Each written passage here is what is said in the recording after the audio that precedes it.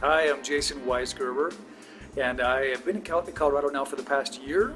And I grew up in Colorado, but I've been in Los Angeles for the past 15 years. And I'm back now to be with my family again. And I came back because I wanted to explore the, the, the, the growth that's happening in Denver right now in the businesses, the small businesses and entrepreneurial section. I do a lot of consulting on presentation and, and on speaking. So being here means no traffic to me. Los Angeles was way too crowded and saturated. So being here means a chance for me to reconnect with Mother Nature and have the space that I that I need to think uh, think the way I like to think and to work with some people that are that are, that are growth oriented. And in Colorado has a lot of this, a lot of new people in town that are that are looking to do uh, do really good things.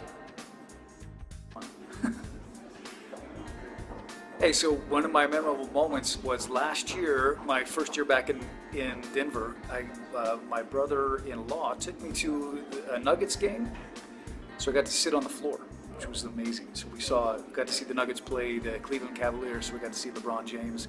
What was cool too, though, was on the floor with me next to me was uh, Demaryius, Demaryius Thomas, right? And, Jul- and at the time, Julius Thomas, who was uh, running back and, and I think a cornerback for the Broncos. So that was a cool Denver moment. So you know, somebody that's inspired me is Nikki Bray. She's a friend of mine. She's someone that I met actually in an airport. Uh, she was I was going back to Los Angeles uh, from Denver. She was going back from Los from Denver to L.A. anyway, we crossed paths and we stayed in connection.